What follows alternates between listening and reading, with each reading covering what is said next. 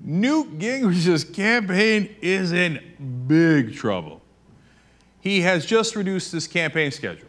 I'm hurt, dog. He has laid off a third of his staff. I'm hurt, dog. He is now charging 50 bucks a picture. I'm hurt, dog.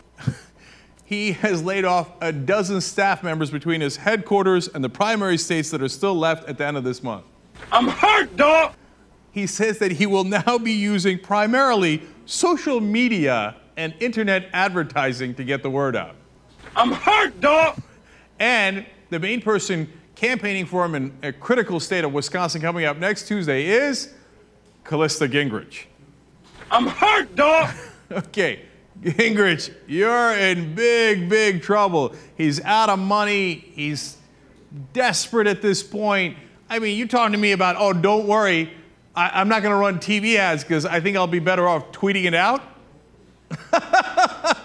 Look, I'm a big believer in social media, but that ain't a political campaign strategy that's going to get you to win in these states as Mitt Romney is spending millions of dollars on TV advertising and every other kind of advertising you can imagine. That's because Newt Gingrich is totally broke. Oh. Joaquin said dominate, and we're not doing it.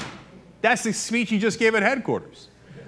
He thinks that it's okay. It's okay. We got Callista in Wisconsin. She was born in Wisconsin. Yeah, that'll help. You know where he's polling?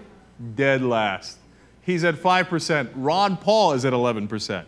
He's getting his ass kicked. Look, it's over, man. Alabama and Mississippi were his last stand. If he had won there, maybe he could have done a resurgence against Santorum, try to be the other candidate against Romney. But once he lost Alabama Mississippi to Santorum, it was good night, Irene. We said it from then. It's absolutely true now. And uh, it, he, it, he's done. He's done. He's done. In fact, Jayar has a tribute to Newt Gingrich now that he is unquestionably finished.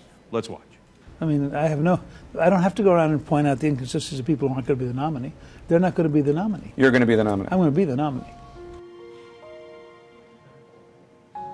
Uh, I've been front runner twice. I suspect I'll be the front runner again in a few weeks. Uh, Romney's probably the weakest Republican front runner since Leonard Wood in 1920. That on the very first day, I will sign an executive order repealing every anti religious act of the Obama administration.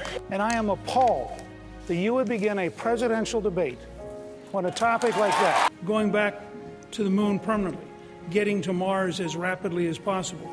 All this is going to happen about two hours after the inaugural address. I have a very simple message from Mitt Romney. I'll meet him anywhere in Iowa for 90 minutes, just the two of us, in a debate with a timekeeper and no moderator. I'd love to have him say that to my face. We are going to contest every place and we are going to win, and we will be in Tampa as the nominee in August.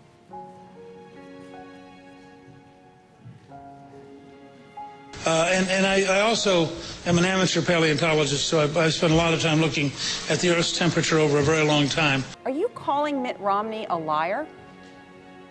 Yes. You're calling Mitt Romney a liar?